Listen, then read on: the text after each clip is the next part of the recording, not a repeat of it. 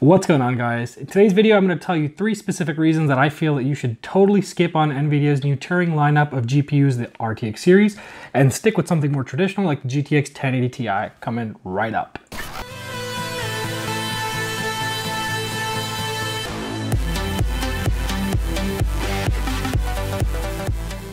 Welcome to Tech Savvy Buyer. So for those of you guys who are new to my channel, I do all kinds of console gaming videos. I do all kinds of reviews on different tech related items, pretty much all things tech related. So if you do like my stuff, do consider subscribing and maybe sticking around. So getting into the main topic of today, why you should absolutely skip on NVIDIA's RTX lineup of GPUs that are coming down and stick with something more traditional like this bad boy right here, which I personally use in my own rig.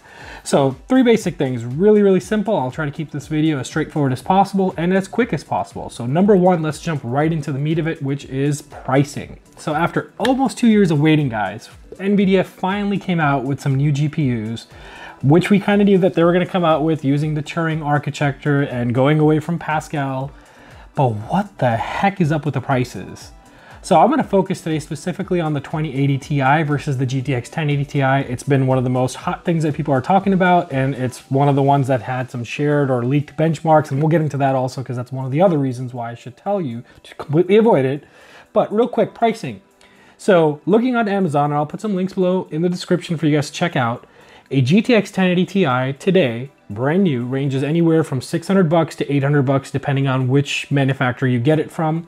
Obviously, if you get something like the Strix edition, like the one I have here, it's around 700, and then there are some of them that are a little bit more pricey, just really depends on which one you pick.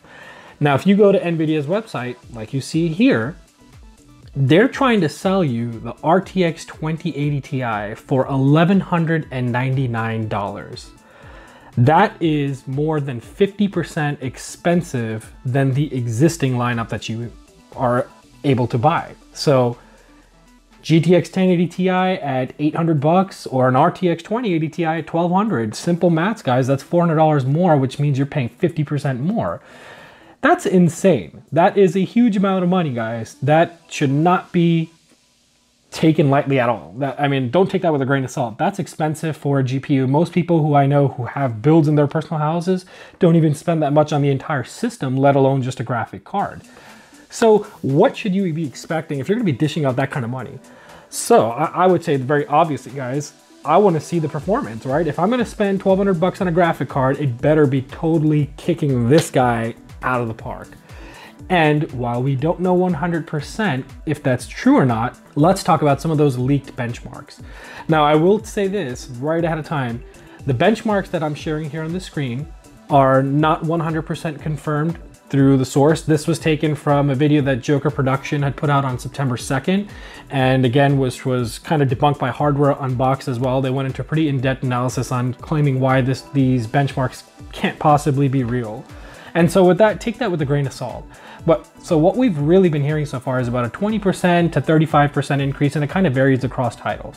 Now, if these benchmarks are true, there is absolutely no way on earth that I can recommend anybody to even remotely consider spending $1,200 on a graphic card that's only giving you 25 to 30% more performance than an existing graphic card that you could probably find cheaper new or even used if you are lucky enough. So with that being said, like pricing doesn't make sense, like I shared.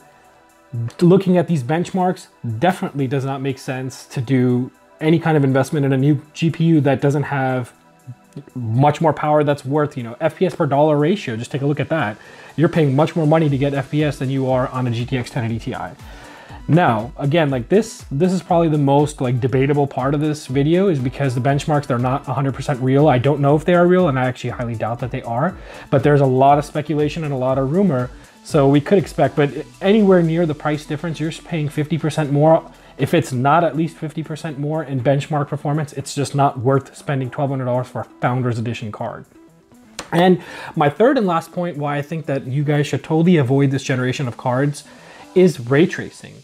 So for those of you guys who aren't familiar with what ray tracing is, I'll just give you a real quick synopsis of what I understand from it. But the best thing I'd recommend is going to NVIDIA's website or just Googling what the heck ray tracing is.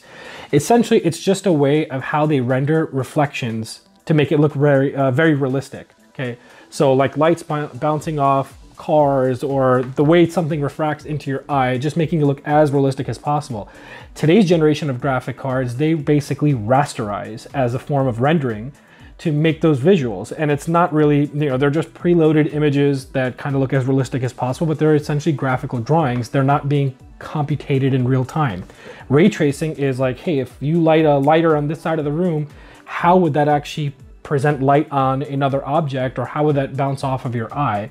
They do that computation in real time. So I don't want to downsell it and say that that's like garbage technology or anything like that. That is essentially really, really cool technology, no doubt. In fact, all Hollywood cinema movies use that tech and it takes them days and days and days to render out a full CGI movie that's using heavy ray tracing uh, you know, techniques in their videos.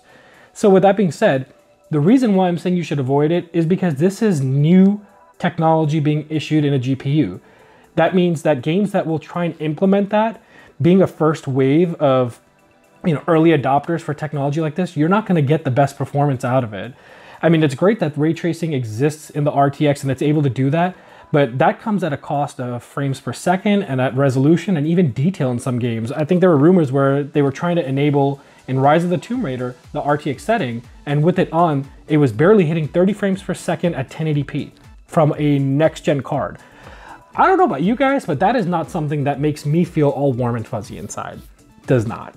I'm not interested in ray tracing yet. I think the next generation of cards after the RTX series, when ray tracing is a little bit more evolved, more game developers are starting to use it, and there's more power under the hood of those graphic cards to actually push those with 60 frames per second and beyond, then we can start thinking about, hey, maybe ray tracing is the next thing.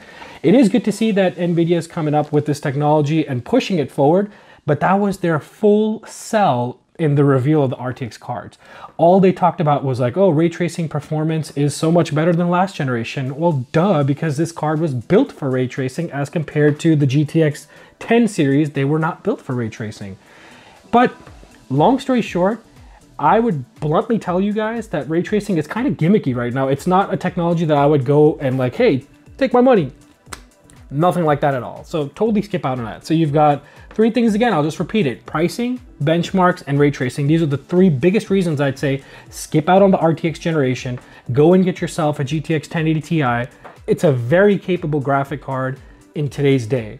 You're able to run all those games at high resolution with high detail and almost hit 60 frames per second across the board on most games. There are a lot of games that you can throw pretty much anything at this right now and it's not gonna give you any kind of trouble. Depending on which one you get, if you overclock, all that kind of good jazz, GTX 1080 Ti is what you guys should definitely be buying right now. Let those prices come down. We know that crypto miners are going down with Bitcoin's recent fall in prices and Ethereum as well. It's just making the market so much better for gamers, guys. So definitely consider buying a GTX 1080 Ti and overall just avoid the RTX 2080, 2070, 2080 Ti at all costs at this point. Let the technology kind of mature, then make an educated decision for yourself whether you should be investing your hard-earned money in that or not. As always, you guys know this channel really focuses on trying to save you guys some money. I'm not going to recommend that you go and dish out a whole bunch of money if it's absolutely not worth it. And I think in this case, go ahead and save those extra bucks in your pocket, spend it on something that you've been wanting to build or save it up for the next generation. Really all up to you. But with that, this is a very hot topic, so I would love to debate this with you guys in comments. Please let me know what you think. What are your thoughts? Is that something that you've already pre-ordered? Is it something you've been considering pre-ordering? Or you just generally disagree with what I think or what I've been saying in this video. Let me know in the comments below. I'm happy to engage with you guys. If this video was helpful and you like this kind of content, let me know as well in the comments below. Drop a thumbs up, maybe hit that subscribe button because you do know it helps this channel grow. So until then, I will see you guys on my next one. Until then, stay smiling, you happy folks.